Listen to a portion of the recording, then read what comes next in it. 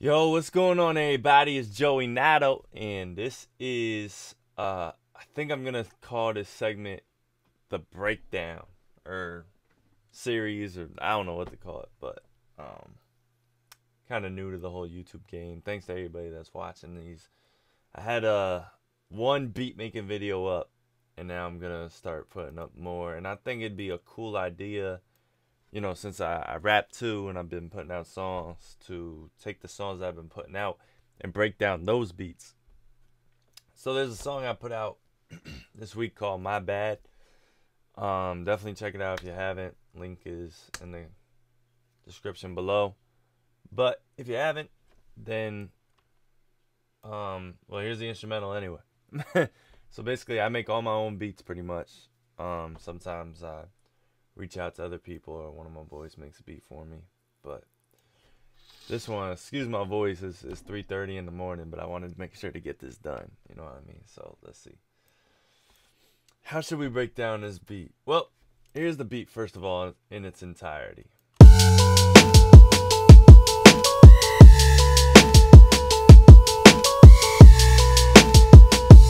That's without the bass. That's the verse. This is the hook.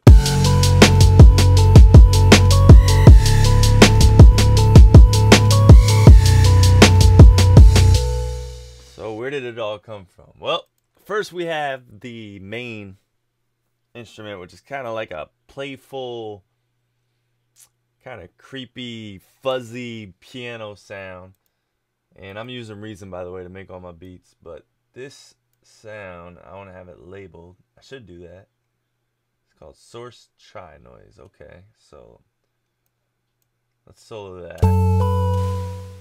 And if closely, you'll see that nothing is playing.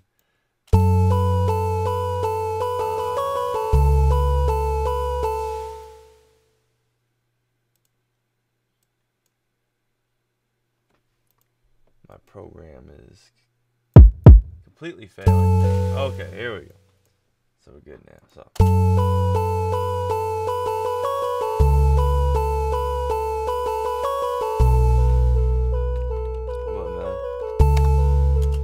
I played that was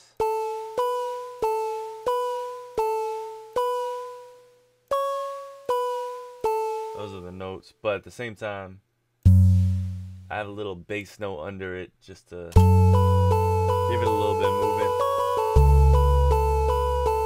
Because without it, this is what it sounds like.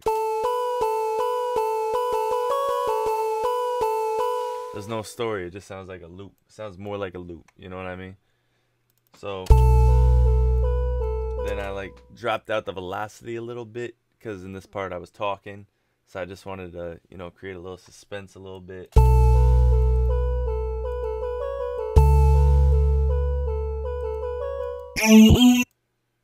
I don't know what that is. This is actually missing a part.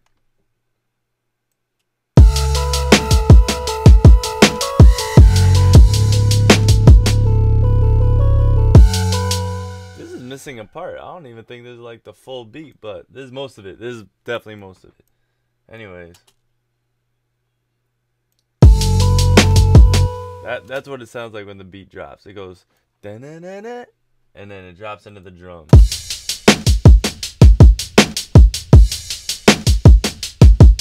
And they move really well, which uh, I'm pretty proud of.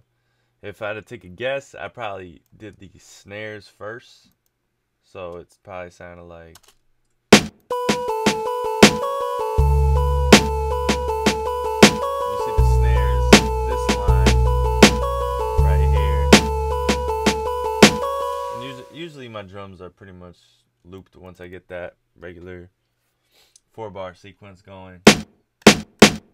You'll see I have the uh, tempo really high for this one. I mean, this is a pretty old beat, so I used to do everything in double time as far as tempos. Um, because I didn't even understand the concept of 32 beats uh, per measure, the possibility of that. Anyways, um, so we got the snare, and then usually I do I want to hear the kick in the snare, kick in the clap, kick in the rim shot, kick in the um, clap together, you know.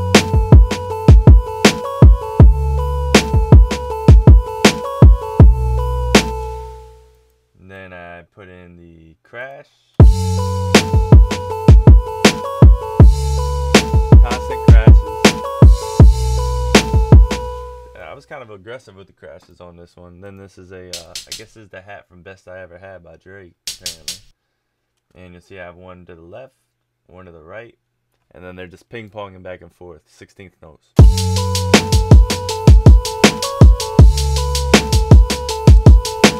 That kind of gives it that nice little flow to it a little bit. Then, um, my favorite part of the beat, which is incredibly simple, really simple, is just the bass line here.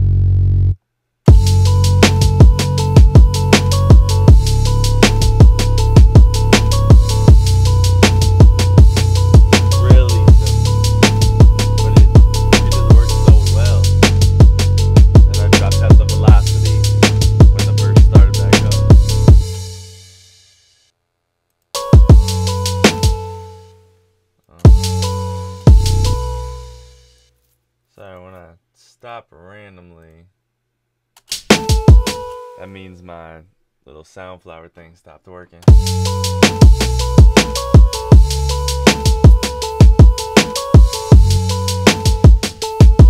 So that's not it. The last things that I want to show you, which is really important about the beat, is the electric guitars,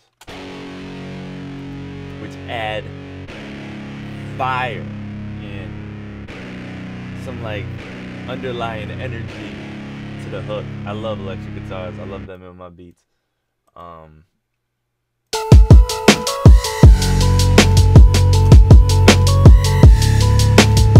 barely hear it, but listen to the bass by itself. It's kind of a distorted bass, sorta, and then listen to it with the guitar. Same notes. Yeah, it's a corny, you know, regular stock guitar sound. But it just sometimes when you use those type of sounds like hidden, um, I don't know. Yeah, they just it's almost like that's what they were made for. What's this? This is something that I decided not to keep in the beat, so we gotta hear that.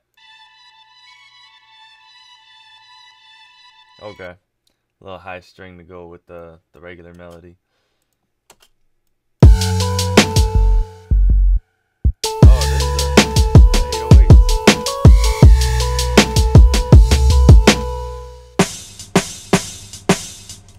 Oh, I see what's going on. Okay, so this is the the whole beat.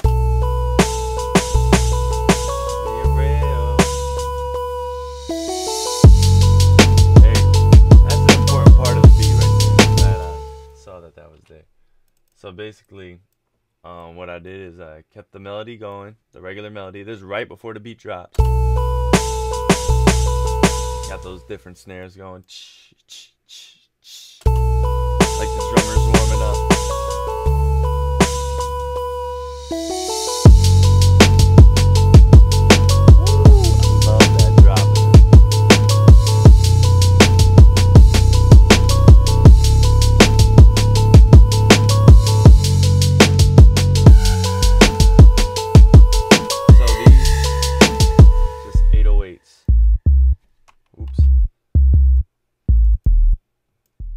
Ignore these. I didn't end up using these hats. They were a little too trappy for this beat. I got the pitch bending so that way it matches up with the bass line more. Uh, if you watch more of my videos going forward, I'll do ton of talking about bending 808, so I'll get into that more. It, it wasn't that crucial. And this this was more just to make the uh, make it bump more in the car a little bit when people listen to it in the car or in their headphones. Um, you know, when you squeeze your headphones so you can really hear the bass. And this is a pretty techno-y, EDM-y type of screechy sound. I've used it in a lot of beats before. But for some reason I just felt like the beat needed more color to it.